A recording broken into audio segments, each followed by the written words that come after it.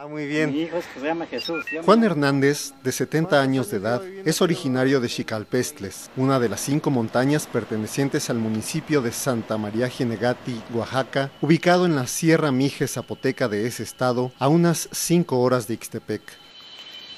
Cuenta que desde niño se dedicó al cultivo del café, aunque confiesa nunca ha podido salir de su condición de pobreza.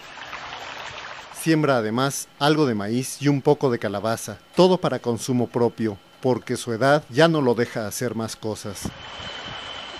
Don Juan está un poco preocupado porque últimamente siente algo raro en su espalda. Deben de ser los años que pasé respirando el humo del locote que prendía para iluminarme por las noches al interior de mi casa, dijo entre preocupado y triste. No había casitas. Le dije, parece que fue un sueño, porque estuvimos en la oscuridad.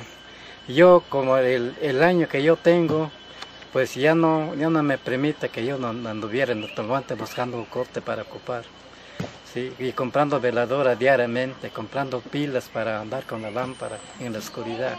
Pero gracias a Dios que nos, ahora sí que nos echó esa bendición, pues hasta el momento, pues yo les, les agradezco bastante el, el que mandaron esos este, apoyo, pues.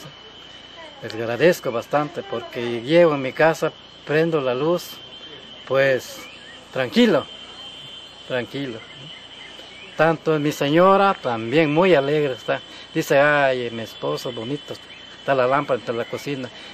Cuando me levanto, lleno de humo, lleno de todo mi cabello, mi nariz. Y ahorita, mira, amanece limpio soy.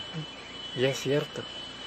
Todo el humo del locote. Imagínate, para dos o tres horas vas a eso que hacer, se levanta temprano para que yo vaya a mi trabajo. Pero gracias a Dios nos mandó este apoyo, pues ya ya estamos más o menos, se libró todo. Muy bien. Esto, este, Muy ese bien. castigo que pasamos antes. Óscar González Escárcega, El Universal Televisión.